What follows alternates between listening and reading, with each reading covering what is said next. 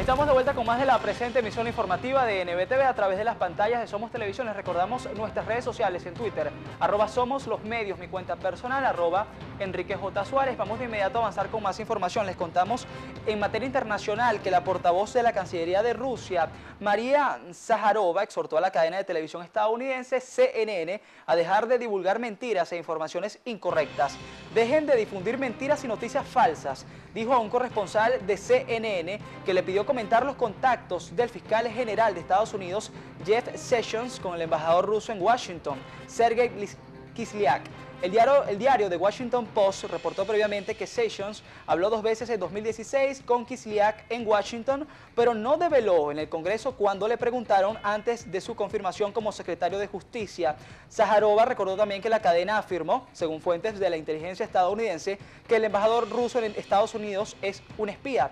CNN está en el ojo del huracán desde que el presidente norteamericano Donald Trump le acusara de divulgar noticias falsas, así como también enfrenta la salida del aire de las cableras de Venezuela Venezuela por presuntamente difamar al vicepresidente Tarek El Aizami. A esta hora nosotros avanzamos con más noticias y es que el presidente de la Federación Unitaria de Trabajadores de Petróleos de Venezuela, Wills Rangel, señaló que este viernes que no hay temor a ningún tipo de elección a propósito de que aún están pendientes los comicios para elegir las nuevas autoridades de la industria petrolera.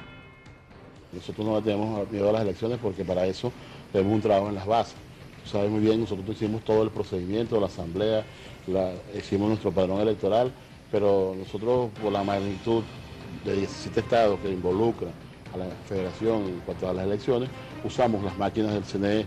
Nosotros, bueno, este, estamos esperando, dependemos pues del cronograma y de todas las actividades que tiene el CNE para que nos dé una oportunidad de hacer esas elecciones.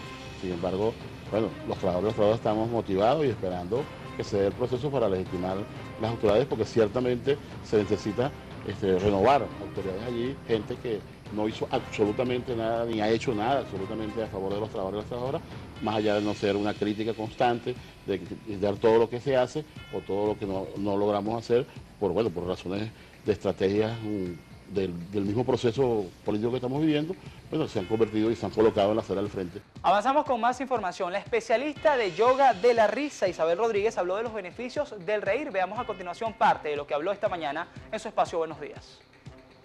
La terapia de la risa, en primer lugar, eleva tu sistema inmunológico.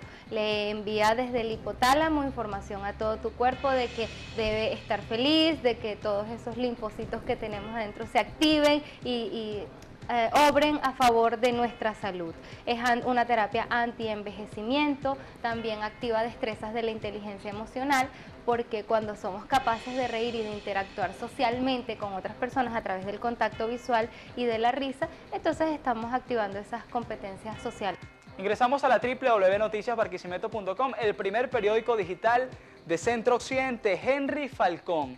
Con la validación se mantiene la esencia de la democracia. Ampliamos la información para todos ustedes. El gobernador del Estado Lara, Henry Falcón, indicó que el proceso de renovación de los partidos políticos ha sido un proceso complejo debido a las decisiones y normativas anunciadas por el Consejo Nacional Electoral. Destacó que de los 23 estados del país, solo 5 se ven afectados por el número de máquinas establecidas como lo son Miranda, Mérida, Zulia, Lara y Carabobo. Del mismo modo, afirmó que no solo su partido se estará renovando por parte de la oposición, son siete partidos de la Mesa de la Unidad Democrática que se van a validar con acciones y estrategias para alcanzar el desafío con estas informaciones hacemos una pausa. En breve más de la presente emisión informativa de NBTV. No se aparte.